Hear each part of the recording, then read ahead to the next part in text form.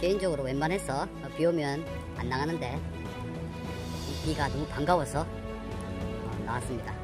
아침까지 너무 습했는데 비가 딱 오니까 그 습한 게 다 사라지고 시원한 가을 바람이 살살 불어옵니다. 어, 이제 진짜 올여름이 지나가는 것 같습니다.